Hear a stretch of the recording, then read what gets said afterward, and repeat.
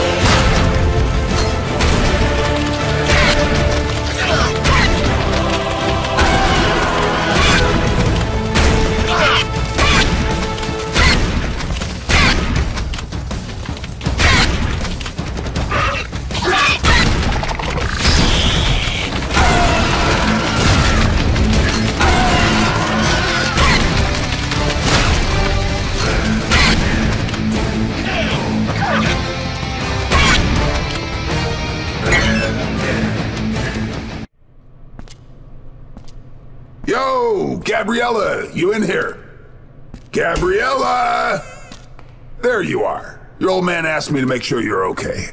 Mille grazie. I am grateful for your assistance. The work we do here is very important. Let me give you something for your trouble. Like uh, a kiss. I was thinking of this. Oh, that's even better. Better? I gotta go. I want to give this baby a whirl. Humph. Men.